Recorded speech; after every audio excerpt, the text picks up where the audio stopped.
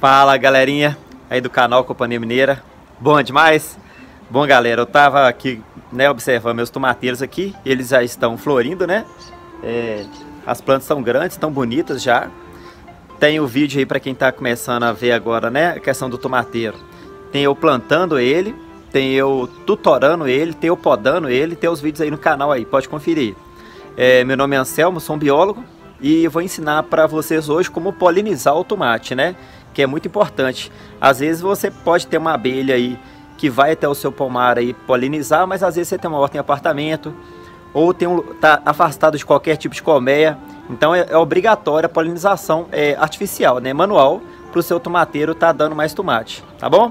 Confere o vídeo aí. Bom pessoal, só para vocês terem um pouquinho de noção do que é a polinização, né, anatomia floral aqui, eu peguei uma flor de ipê, tirei né, as pétalas dela, abri e aqui dentro, olha, eu tenho um conjunto de, de anteras aqui, que é onde fica o pólen, né? E aqui é a parte feminina, que é um sozinho que tem aqui. A abelhinha tem que pegar o pólen aqui e levar em outra flor aqui para a parte feminina. Pode acontecer na mesma flor? Pode acontecer, tá bom? Igual o caso da polinização manual do, do tomate vai ser isso, vai ser uma alta polinização. A flor vai se autopolinizar, ok? É, isso aqui é uma flor hermafrodita, Existem flores que têm sexo separado por flores, igual o caso da abóbora, né? Se você for polinizar, você tem que identificar a flor que tem o pólen, pegar com o cotonete, tá passando na flor que não vai ter pólen, tá bom? Aqui tem pólen é bem clara, é bem, bem explícito, né? O pólen lá dentro, bem amarelinho. E aqui não tem pólen, a parte de trás dela tem até um formato de uma abóborazinha, tá ok? Então, galerinha, o caso da flor do tomate, ela tem uma peculiaridade.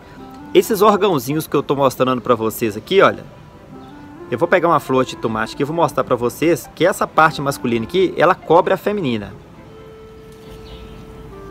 Eu resolvi filmar aqui para facilitar a visualização de vocês. Essa é a flor do tomate. Essa aqui, essa, isso aqui embaixo já é a pétala. Eu tirei todas as pétalas em volta aqui. Isso que vocês estão vendo em amarelo é a parte masculina. A parte feminina está ali dentro. Ela fica presa ali dentro ali. É, não dá para visualizar aqui, teria que desmontar, tirar todas essas anteras aqui. Aqui já é o lugar onde fica o pólen. Então ela é uma planta muito assim, uma flor muito peculiar. Para polinizar, o polinizador tem que entrar no meio dessas anteiras aqui e acessar a parte feminina. Mas tem uma técnica que a gente consegue fazer para não precisar fazer isso aí. Não precisar tirar o pólen daqui para estar tá levando para outra flor. E eu vou estar tá mostrando para vocês aqui agora. Confere aí. Aqui está final de tarde. Não achei flor aberta não não tem problema, tá bom? Para mostrar. Aqui já é flor, provavelmente já está polinizada, né? E aqui são, são ovários se desenvolvendo que vai formar o fruto, ok? Eu tenho abelhas aqui para polinizar, eu cultivo abelhas aqui. Aí a minha abelha polinizando, essa abelha eu crio ela. Talvez você tenha um tomateiro grande em casa e ele não produz tomate porque não tem polinização. Talvez você tenha um pé de tomate grande e fala assim, ó, nunca deu tomate é porque não tem o polinizador, tá vendo? Ou você não fez a polinização é, manual, né? Por isso a importância da polinização manual. No caso, se você não tiver em casa, essa técnica que eu vou falar aqui é, é utilizada por produtores profissionais, tá bom? Aquele, principalmente quem tem dentro de estufa, que as abelhas não conseguem entrar. Eles balançam assim, olha, todos os cachinhos florais. Basta você bater nele, não precisa bater forte não, só dar uma balançadinha nele assim, ó. Balançou assim, olha aquele pólen que eu mostrei para vocês entra em contato com a, com a parte feminina e autopoliniza. Não vai ter aumento de variabilidade, né? Que você está cultivando, é, você está polinizando a mesma planta com o mesmo pólen dela, mas vai ter a produção do tomate. Basta você balançar e vai ocorrer a polinização, tá ok? Fica a dica aí. Esses aqui são os primeiros tomateiros que eu plantei, estão aqui atrás, que tem só um quinor na frente aqui, ó. Eles já estão bem grandes já, né? Bem grossos aqui, ó.